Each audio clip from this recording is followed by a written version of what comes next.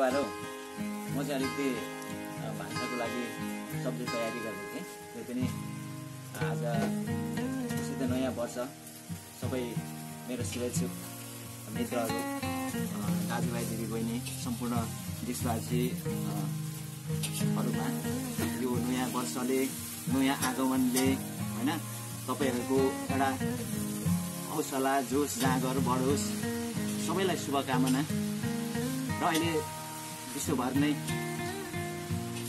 एउटा महामारीको रूपमा फैलिरहेको छ कोरोना भाइरस जसले एउटा प्रत्येक व्यक्तिहरूमा चाहिँ यो भाइरसले धेरै आघात पुर्याइरहेको छ। जसले गर्दा तपाईँहरू एउटा राष्ट्रको निर्माता अथवा प्रधानमन्त्री अथवा जो कोही भए पनि एउटा राष्ट्र मा चाहिँ एउटा एउटा एउटा खालको नियम लगाइदिएको छ जुन नियममा तपाईँहरू बसिदिनु होला किनभने त्यो नियम आफूले पालना गर्नुपर्छ त्यो आफ्नो कर्तव्य मान्नुपर्छ।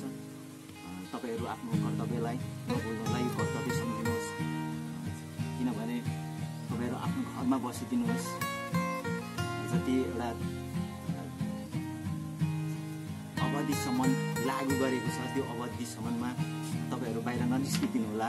घरमै बसेर सानोतिनो काम गरेर समय व्यतीत गरिदिनु होला। र फेरि पनि नयाँ आगमन भएको छ। सबैलाई शुभकामना। र मेरी उनीको पनि आज जन्मदिन परेकोले होइन? धेरै मिस गरिरहेको छु। शुभकामना छ जन्मदिनको। होइन? नमस्कार।